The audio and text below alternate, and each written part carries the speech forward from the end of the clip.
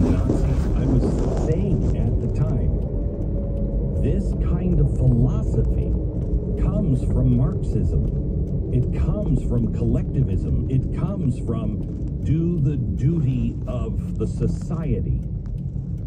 In societies that are collective like this, mobs are allowed to form like That guy's lucky he's a manager because that's the job I wanted. It's what's good for the majority.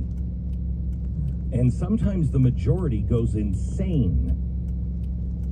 That's why we are a nation of the individual, not the majority, not rule. I went I went through some. I got treated pretty well when I first started there. Around the left.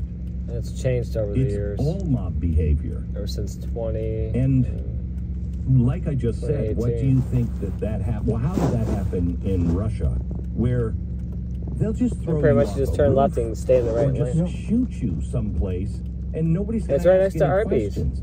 How do you think you're going to get away with that? At least that's a with all place. the airport security and your face on it. You were fine. The state's not going to do anything about it because the state most likely agrees with you. The state can use you as a useful idiot.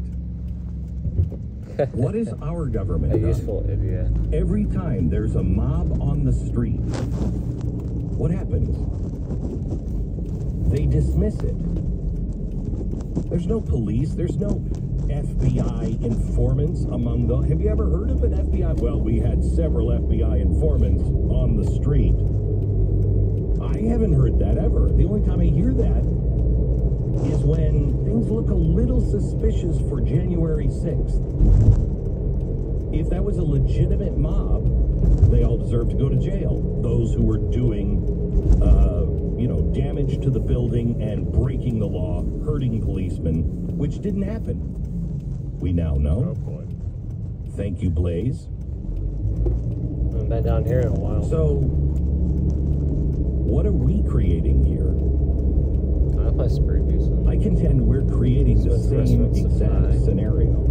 Let me give you something that Guitar outlet. maybe maybe we Center. should pay attention to. I don't know. Alleys, Chinese. Illegal border Liquor store.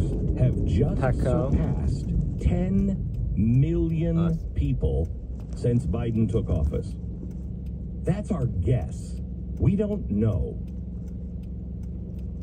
10 million people Oh yeah, Empire Buffet's over in that uh reported Yeah.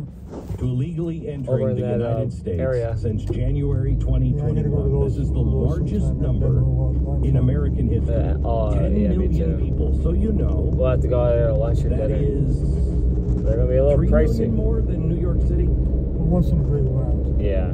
But we'll let you know where we'll 10 want million. You're starting to enter Los Angeles. Oh, that's a charge at Armor territory. Lake there for uh for You're in one of the top 10 cities in America. Top soda five cities stuff. I don't know how much for they sure charge in for coffee America. though. I never tried it. and we don't have any idea who they are. Well, we kind of do. We kind of do.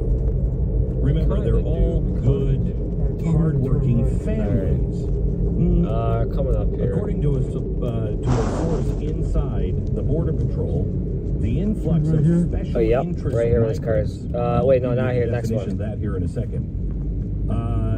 Yeah, right here.